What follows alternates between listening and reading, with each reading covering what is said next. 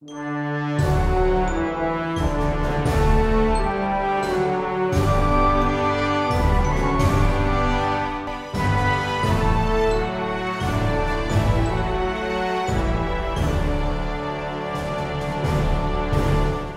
welcome back to the Welsh History Podcast, Episode 8 To the Hill Fort. The earliest ob- iron objects found in Wales is a sword that was made in 600 BC. It had been thrown into the waters of Llyn Fawr, above the Rhondda, in the late Bronze Age and early Iron Age. It was a popular thing to deposit items in water. In fact, the concept of hoards becomes really popular in that era the Bronze Age at the time uh, was in an era of changing climate, and that meant for harsher winters, harsher weather in general, and for a lot of people, it may have been very bleak.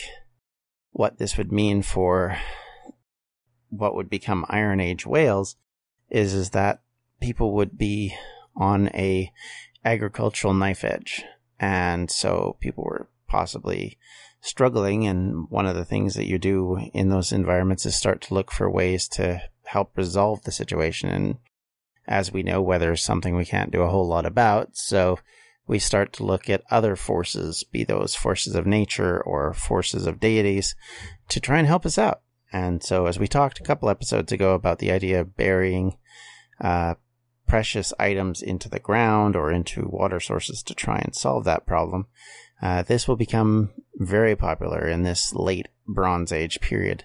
In fact, it's one of the most popular things to do is to bury uh, bronze axes. This actually comes out of Armorica uh, in northern France, kind of around the area of Normandy and Brittany. And there are sites of hundreds of these axes being buried. And these axes were buried in such a way to show that they were not actually axes that were used for doing any actual work. Uh, typically, they had been still rough hewn from the actual process of being made, uh, showing that they were never actually modified and sharpened properly. Also, there was deposits of clay found in them, which would have been in the creation of the mold. They would have used clay to try and develop the area where you'd normally put your your stick or whatever to create the axe um, handle, and those still had clay deposits in them, which again shows that likely they weren't really burned out, and these axes were not meant to be used for anything other than what they were uh, in the end used for. And finally, the other evidence from this is that they were typically had high lead contents, which meant that they would bend and and deform quite easily. So again, showing that they wouldn't have been used as a proper tool, but rather as some sort of ceremonial tool. And it does make you wonder if there was a bit of a cottage industry going on in Armorica uh, that showed this being an important economic tool in trying to reach out to the gods. And like I said, there was deposits were quite lengthy in the thousands in some cases in and around northern France and in France in general.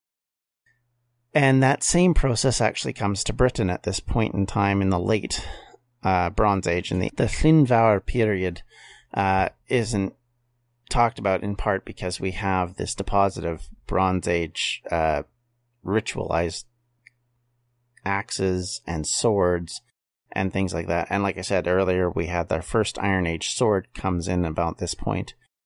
And it does show that there's a heavy desire to try and change fortunes. And at the same time, we have a complete change in the way people live. And it starts generally slowly, but as we've said before, the idea of a hill fort and a roundhouse were not something new at this point. They just became much more stratified and were done more often. The, in fact, a couple of the examples that happened start to come in in the 6th century BCE.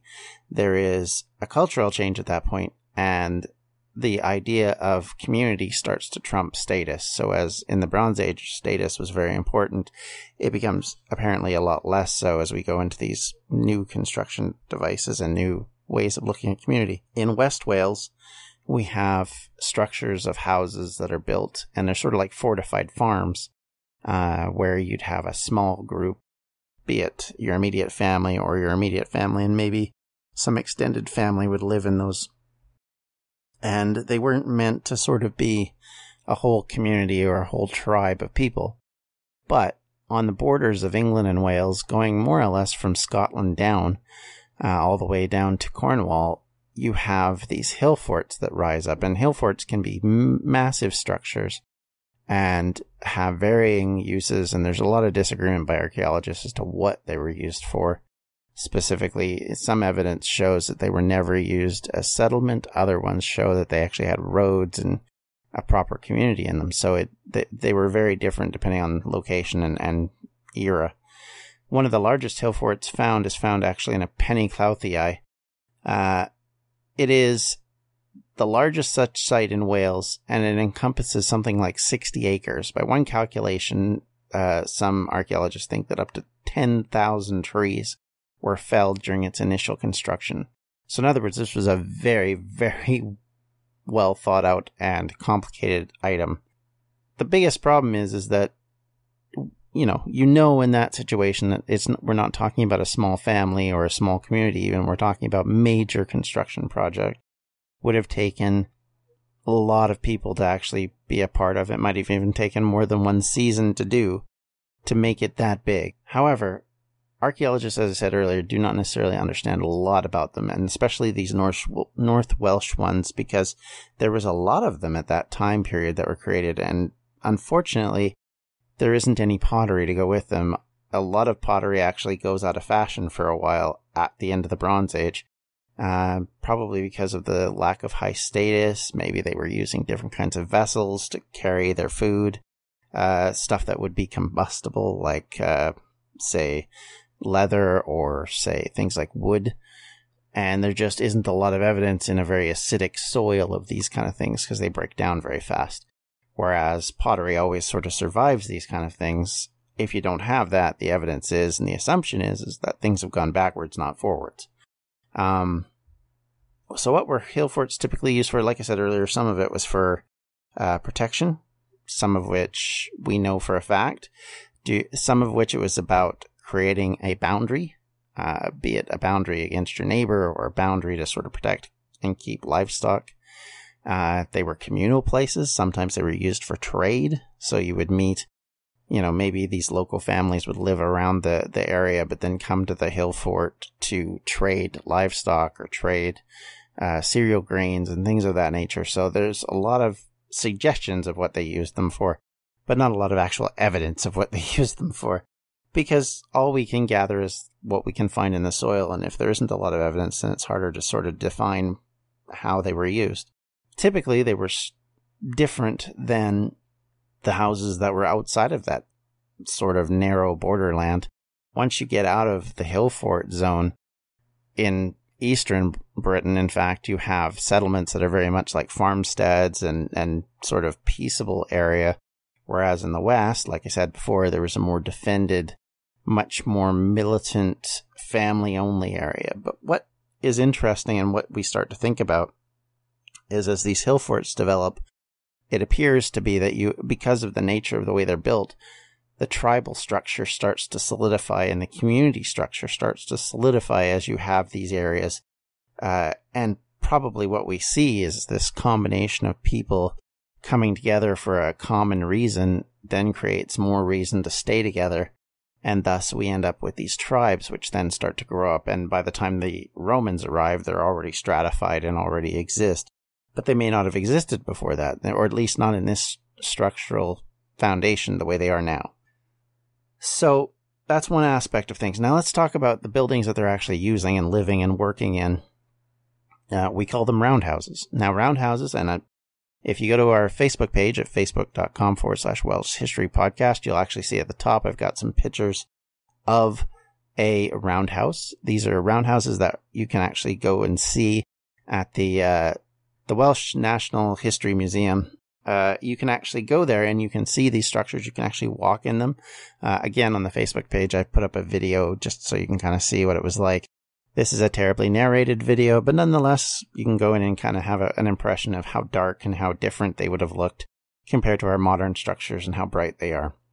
Uh, Now, the interesting thing is, and some archaeologists have suspected that because of the size of these things, and some of them are massive, like they're talking about 50 feet in diameter structures, or 15 meters if you're if you're European uh, or Canadian for that matter. Um, these structures could even have supported more than one story within them, which would make some sense. Although I, am not sure how exactly that would work, uh, and I'll get into the reason why in a minute. But so you have this massive round building based on posts, which are then stretched up to the center, and they're that's kind of the building structure is based around wood poles. And that is one thing that, that does create problems because while we can find typically the holes that they were put into, you can't really find the wood that they were made from. So you can only make guesses on some of this based on how big of these post holes would have been.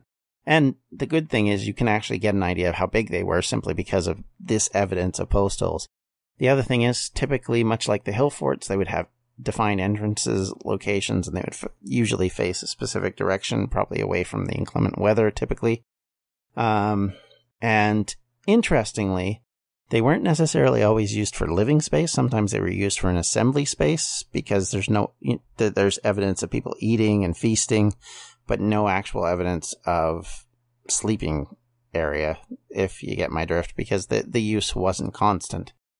Now, how do you make one of these roundhouses? Well, like I said, you start off with post hole, posts, which you put up to create this structure, the the the outline effectively, and then I would after that, one of the things that they then start to do is they then surround it in sort of a mixture, which is then put on the bottom half of the structure, which is called wattle and daub. Now, if you're not familiar with what that is, daub is usually created from a mixture of clay, lime, sand, and crushed chalk and crushed stone. Uh, and then it's reinforced with straw or hay or some type of, of material to kind of give it a bit of structure and stability. So then what you do is then you take uh, reeds and things and thatch, and you'll use that as what they call wattle, which will then be sewn in between the posts. And then what you do is you take your daub and you then cover it over on the uh, the wattle, and that builds your base structure. And as it hardens, you can put things like whitewash on it to help keep the rain out. Uh, this also does a very good job of, of protecting against water. So obviously, in a place like Britain where there's a lot of rain, you would need this kind of thing. Um, and then, of course, the roof would be a thatch roof. Uh, it would be covered and quite tall because of that. Uh, the thatch would actually work in such a way to keep things in and out, so the rain wouldn't go in, but it does create an interesting factor because the smoke doesn't get out really terribly well. Uh, and, and as we go into it, we'll describe why that can be an interesting issue. Now, unlike North American uh, plains natives that used teepees that had holes in the roof so that air could escape, you didn't have that in a roundhouse. And the reason for that is apparently is that experts thought that if you had an, an enclosed roof like that with a hole at the top, it would actually create a fire hazard and you'd end up having problems that way because it would create an updraft, which would then take uh, things like sparks and stuff into the into the thatch. And of course, if it's dry, then poof, there you go. And so that's why they were closed in. Now, what does this do? Well, the thickness of the thatch and the fact that this wattle and daub is obviously surrounding the whole thing then sends that smoke into the center of the building and effectively as I said earlier, having gone into one of these before, one of the, the quickest things you learn is how smoky it is and how cough inducing it is and how much that would just sink into your entire life because everything would be infested with it, right? So one of the things they would do, of course, is dry meat using this method. It would be smoked. It would be lovely, I'm sure. But at the same time, you're smoking yourself out. So it must not have been the most pleasant and might explain why in some cases they didn't actually live in those buildings. But the reality of it is how the the one question I do have is when they talk about the concept of having a second story is we all know smoke and heat rises. Would that not be even worse in that environment? It's hard to say. So i wonder if that was more about storing things rather than making living quarters. You know you have your attic where you store stuff or maybe you use it to dry meat and cure meat, or maybe you use it to uh, keep your hay and other things like that there. But nonetheless, that's kind of one of those things where you're left going, hmm, that would be quite an entertaining thing. And like I said, we don't know for sure how all this worked. We just know from sort of experimental archaeology to kind of see, you know, how would you live in that environment? And one of the things that you definitely get is this overwhelming sense of the smoke and the sense of darkness which would have existed in there because, you know, how much open flame would you really want in that situation? So combined with all that though, it's a great place to tell a story at because if you think of the haze and the darkness and the firelight that you would have if you were a storyteller in that period, you could use it to your benefit. You could strengthen the imagination of people as you describe your mighty king or tribal leader, or as you go through a story of some magnificence of some mythical figure, or maybe it's a big battle that was fought and you're, you know, it give you that sense of occasion, I guess I would say. You know, mix that in with your bit of your wine and your beer, and mm, things get interesting when we get into those kind of discussions. And I think it, it would lead itself to to being very artistic or very well thought of art, poetry might come out of that environment because of that imagination being driven by these kind of things. And I think for me, that would be one thing that would be very exciting about this is that you would have this ability to tell a story that people would be able to use their imagination on. And it would be like the campfire stories we tell now. It's just the difference is, is you're in an enclosed environment and the weather can't get at you. So in a way, it becomes an even better place to tell a story. And a lot of these major buildings, the really big ones, were feasting areas. So much like the medieval hall, they become a place where people gather. So you would gather not just to eat, but you'd gather to party, you'd gather to discuss things, you'd gather to mourn. All of those things would now become a central point of this massive roundhouse. And so, yeah, the storyteller would probably be very important to the uh, entertainment of the local community or tribe and would probably be just as important as any of the chiefs and kings of the area. So these roundhouses become the way to live, and for the next few hundred years are the basic living space of most Celtic Iron Age people. And that will remain so until the Roman era when houses change into the more Roman pattern. However, they do make a comeback after the Roman era when people start to kind of go back to their roots. Which is strange to think about. Like, it probably likely means that the roundhouse never went completely out of fashion because why would you go back to something if you don't remember it. Because if there's 400 years between your ancestor and you, how would you even know these existed really? Other than I guess maybe there might have been a few decrepit and, and scary looking ones that were left over that, you know, your, your kids might have told stories about and, and you may have talked about. But other than that, it just goes to show that likely what happened was they didn't completely ever go out of fashion. People were using them long after that for other things, and thus they became still that point of use later on. And we will see in the post Roman era that people will go back to these hill forts again as possibly protection, possibly a way to to kind of reconnect with what you'd done before because that seemed to be more successful than the current times. So the other thing that enters in, especially in the 5th and 4th century BCE, is something called the La Tène art style. This is better known to us now as the Celtic art. It's the designs of swirls and whirling design fashion that we now totally associate with Celtic. It comes out of Central Europe. That's where it gets the name. It arrives to northern France in the late Bronze Age, early Iron Age. It becomes kind of the classic way of design and and construction of art styles across Europe at that time. And like any cultural thing, it will then migrate and it migrates as people start to coalesce and continue their associations. As we've talked about, the axe burials from, from northern France were making their way into Britain.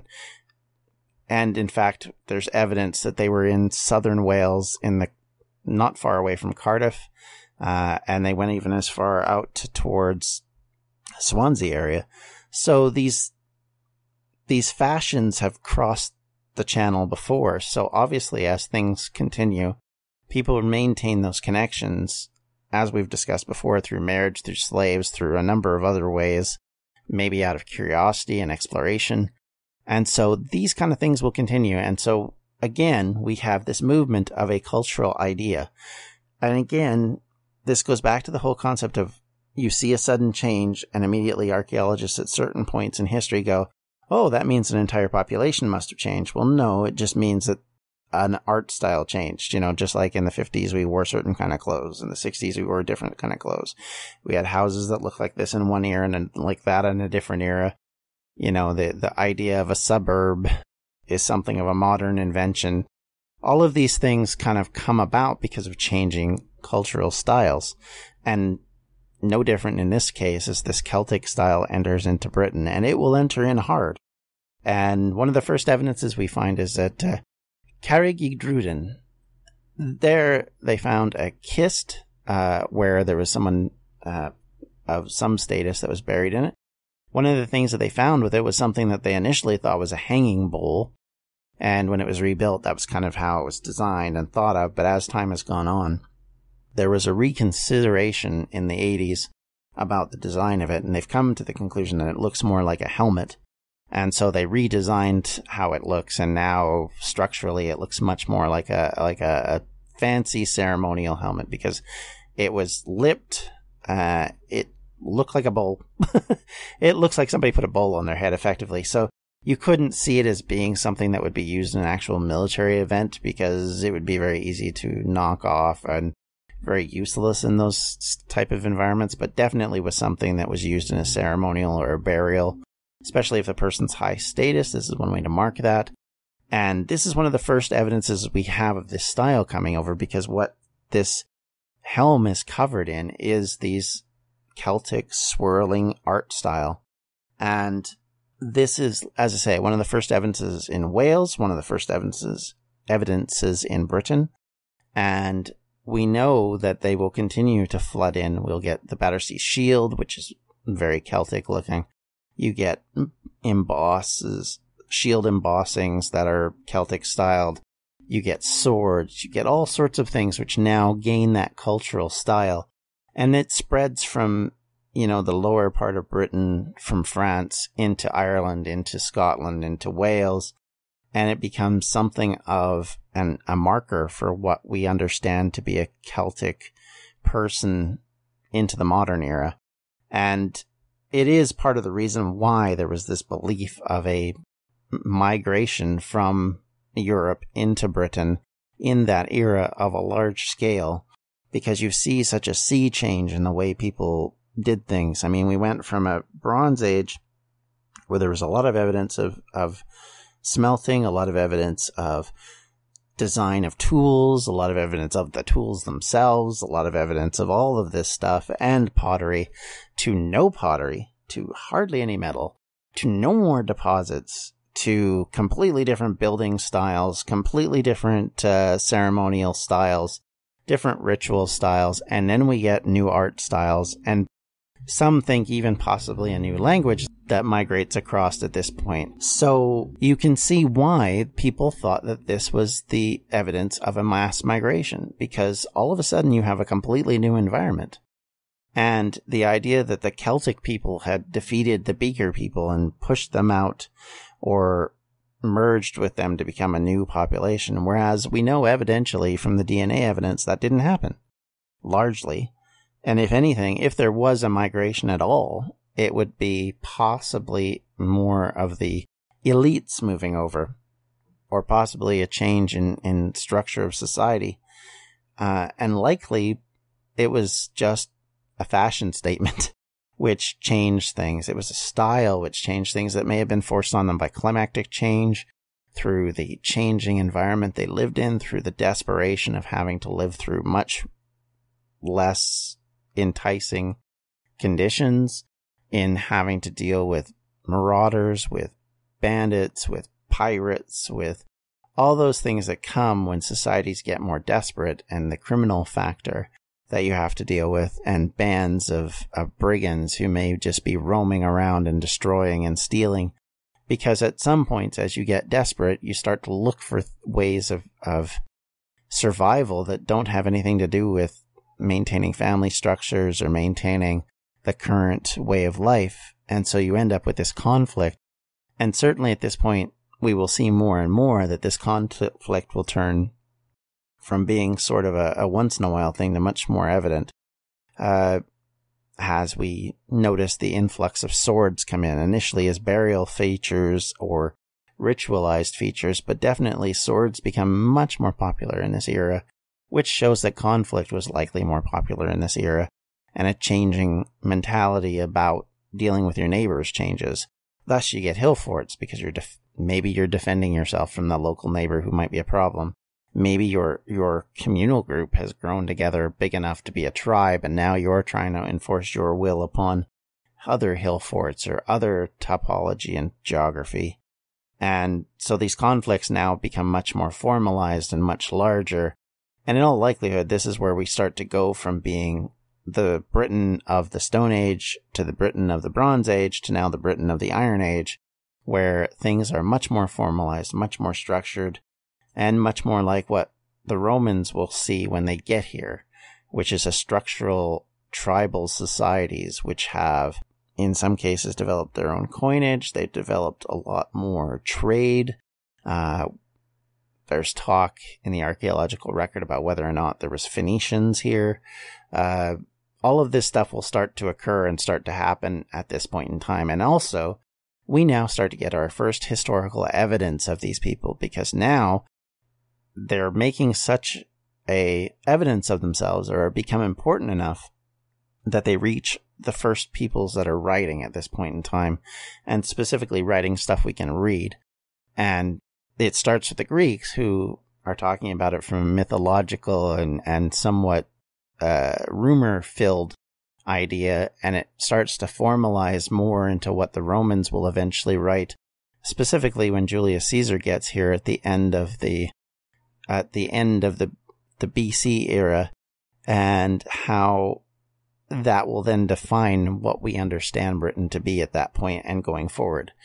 So we're on the edge of historical evidence uh, instead of just archaeological evidence, but it's still got a bit to go. We're going to talk a little bit next week about Herodotus and what he thinks and Strabo and some of these people before we finally get to our man Julius and his on the scene reports as he enters into Britain for the first time from Gaul and writes about it in his Gallic Wars. So we're getting there. We're we're almost to the point where people are talking about him. But that's still a ways off. We still have some things to talk about next week. Even as we talk about the historical things, we will start to talk a bit more about how the developments of trade and of ritualization and everything else in the communications between societies begins and I hope you'll stick with me. And I'd just like to thank everybody who listens to this podcast. Thank you so much for your willingness to, to give us a chance and to listen in. And I hope you will comment. And I look forward to hearing from you. You can reach me at the Welsh History Podcast at gmail.com, or you can talk to us on Facebook, as I said earlier, facebook.com forward slash Welsh History Podcast. Or you can now talk to me on Twitter at Welsh History Pod uh, on Twitter. And as well, please uh, check out the Patreon that we've got going for Distractions Media. And if you'd like to contribute, we'd very much appreciate it. And you can check out everything else we do on distractionsmedia.com. Thank you and have a great day. This has been a Distractions Media production. For more information, you can check out everything we do at distractionsmedia.com.